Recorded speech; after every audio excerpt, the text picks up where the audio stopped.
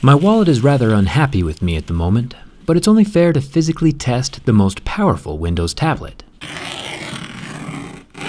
The Surface Pro 6. Microsoft's flagship tablet was just recently released, running a full version of the Windows operating system, just like a PC, but in tablet form. It's even got a little built-in kickstand. Let's get started.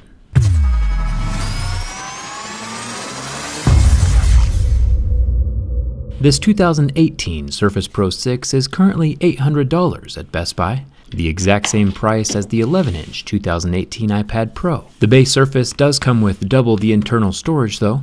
The Surface is also a tad larger, with a 12.3-inch screen instead of the 11, and a bit thicker at 8.5mm versus the 5.9 on the iPad Pro. A 2mm difference doesn't mean a whole lot to the naked eye though. They are both very thin tablets, but when two pieces of technology compete, it's only natural to compare them. Some of the Surface Pro thickness stems from its massive kickstand. We'll see what that's made out of in a second, but it's definitely no flimsy Nintendo Switch peg. It holds the Surface Pro in basically any viewing angle you want. Let's start with that durability test. Oh wait, sorry, the full file management system just opened up. Let me uh, minimize that before anyone gets jealous. Let's start with the scratch test. Screens can be made out of a number of materials. Plastic would scratch at level 3, glass would start scratching at a 5 or a 6, and sapphire would scratch at level 8. Glass can have different compositions. Tempered glass has the same hardness as regular glass, but is less prone to fracturing. Looking at the imprints from my Mohs hardness picks, the glass does appear to be a tad thicker than the iPads, but we can still see the pressure transferring through the glass onto the LCD below. As I was finishing up the level 7 scratches, there was a tiny pop, and the entire length of the tablet was hit with hairline fractures. Not a good start. Each fracture from the level 7 scratches basically spidered out to the four corners, so a screen protector is probably a good idea with this one. The Surface Pro 6 does not handle scratches or damage very well. The side of the tablet has a proprietary magnetic charging port. It would be nice to see a USB-C over here, but it does have a full-size normal USB port along with the mini display port for external monitors and stuff. All tucked into the metal frame. The bottom of the Surface Pro 6 has its little docking pins, little gold circles that connect to a keyboard. The Surface does allow you to plug a mouse into the USB port, just like you would on a real computer. The iPad Pro does not support a mouse. The frame of the Surface Pro 6 is made from metal. But it's not anodized, it's painted, making it slightly more vulnerable to scratches. I do prefer Apple's layer of anodizing over this paint stuff. The power button is made from plastic, along with the volume rocker, also plastic.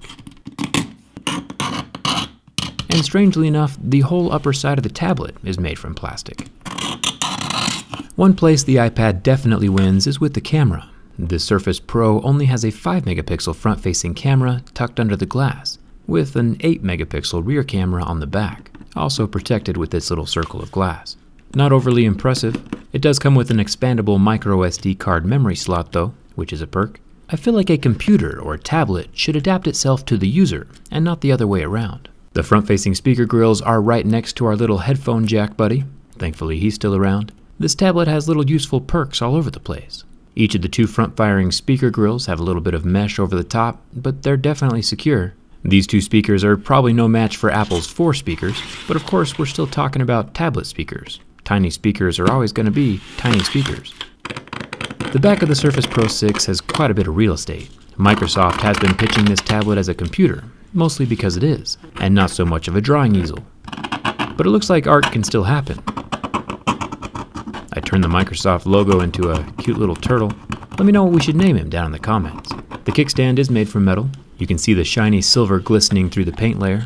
There are two halves to the back panel though. So a double session of art class with Jerry is now in order.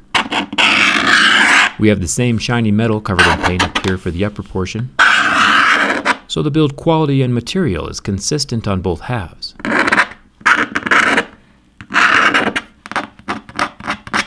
What should we name the shark?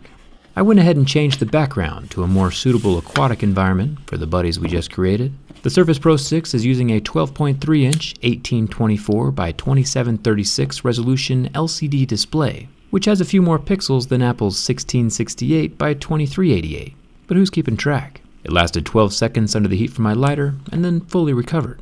Tablets are definitely in a whole different construction class than cell phones. Cell phones are by far the most abused pieces of technology on the planet, but tablets are still mobile and still should be durable. The bend test is next. Remember the screen has already been cracked from our scratch test.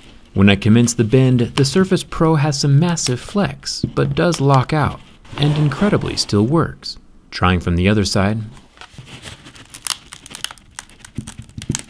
we get a very twisted tablet, but with no catastrophic damage. Bending round 2 from the back pops the LCD loose from the side adhesive. You can see the literal gap as the screen pops away from the tablet, but the whole thing is still functioning. It's pretty safe to say that the Surface Pro 6 can handle quite a bit more abuse than the iPad Pro. It could very well just be a weight issue. The Surface weighs 40% more than the iPad. And that weight definitely adds to the structure. It's still incredibly light, of course, there's just more structural material inside. Plus, the Surface doesn't have any flaws built into its weakest points, like on the iPad with its massive bend near the plastic cutout and the crack exactly on top of the middle microphone hole. Intentionally adding structural flaws in a mobile product is a bad idea. Pretty basic stuff. The Surface Pro 6 passes the bend test. The thing that probably helps keep things solid the most, though, was the kickstand. An extra massive metal plate securely built into the tablet itself, like a structural brace. You can't go wrong with that. Let's do a quick jump inside, so there's no question left over about the build quality. I'll keep it all consolidated into one video. Neither of these tablets were designed to be opened or repaired successfully. That's a story for another day.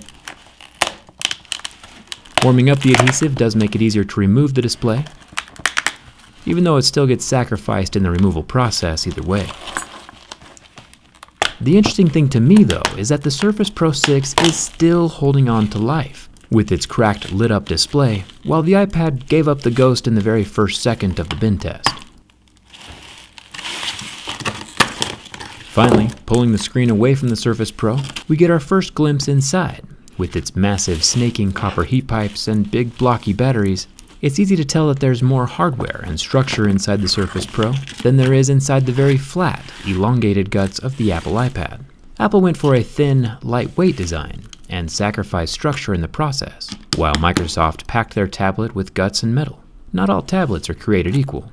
And there we have it a full computer in tablet form versus a smartphone in tablet form. To me, the iPad Pro is just an overpowered, hyped up, flexible Netflix machine. It sure does make artwork look good though. Hit that subscribe button if you haven't already, and come hang out with me on Twitter. Thanks ton for watching, and I'll see you around.